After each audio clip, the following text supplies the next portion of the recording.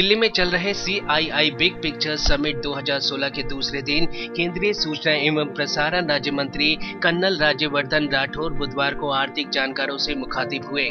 इस मौके पर उन्होंने भारतीय मीडिया और मनोरंजन उद्योग की चुनौतियों से कैसे निपटा जाए उस पर अपने विचार रखे। The government is stepping in to support the industry by method of uh, let's say when you spoke of startups as well so it's startup is becoming much easier. And also the very fact that because there's internet now because there's digitization now so it's much more easier for startups to challenge bigger companies. So you don't really need to be so big and deep pockets today to challenge uh, uh, i mean that's why the disruptions are more. Um, even in terms of taxations to such startups there's a um, there's an ease of taxation for such startups now, which the government of India is promoting. Also, in terms of developing skill, uh, the government is stepping in. But if there's anything else that you uh, that you think as an industry needs, uh, that's why perhaps these uh, these uh, occasions are there that you discuss, deliberate, and when you come up with the uh, the entire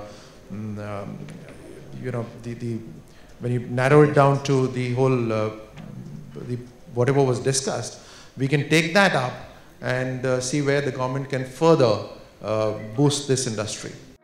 Colonel Rajyavardhan Rathore ने बताया कि देश में बढ़ते talent की वजह से आने वाले समय में मनोरंजन उद्योग में भारत अपनी इस नेतृत्व शक्ति के कारण तेजी से तरक्की की राह पर है The industry is very rapidly changing, of course, uh, uh, right from the way we create content to where we access content to where we uh, deliver the content, the revenue models of uh, uh, the whole industry. Um, it's, it's continuously getting uh, fragmented and um, newer revenue models are being created. The market distributions are changing, talent and skill is changing and increasing rapidly.